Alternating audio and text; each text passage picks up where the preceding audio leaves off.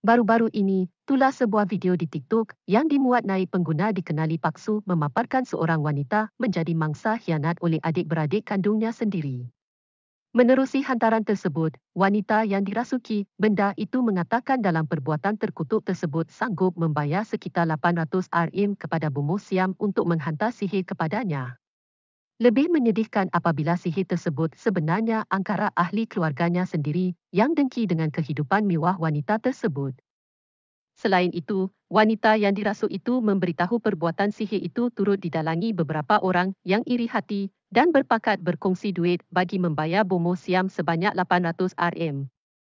Bukan itu sahaja, pelaku juga mengatakan dia menggunakan patung yang dicucuk paku selain menggunakan gambar, kain batik dan pakaian milik mangsa atas tujuan menyakitinya.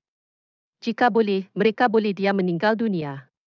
Perkongsian itu menerima pelbagai reaksi di kalangan warganet di mana ramai turut mendedahkan mengalami situasi yang sama seperti wanita tersebut.